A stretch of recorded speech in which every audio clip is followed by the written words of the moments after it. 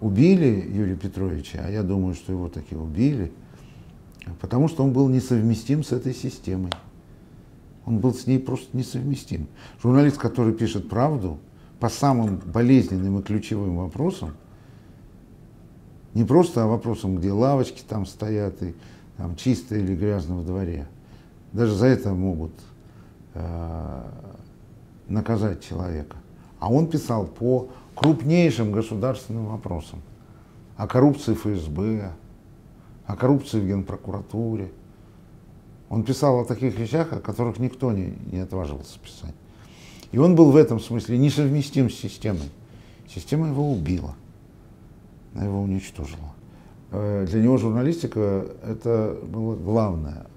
Во вторую очередь он уже был депутатом, э, в другую очередь он был, скажем, там, политиком. Номер один для него всегда была журналистика. И интересы журналистики для него были самыми главными. А то, что его сейчас очень мало кто знает, это неудивительно, потому что э, наступили времена, которые часто характеризуют как постправду, как период, когда э, очень мало кто интересуется правдой и очень мало кто производит правду.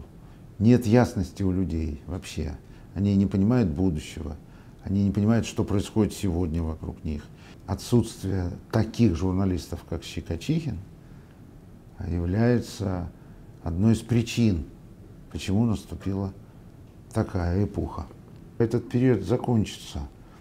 Будем надеяться, что он закончится без крови и без насилия. Но этот период закончится. Он исчерпает себя. И тогда по книгам Щекочихина и по его работам люди будут учиться журналистике. И эта журналистика вернется снова. Но мы сегодня не знаем, когда это случится и что нас ожидает на этом пути.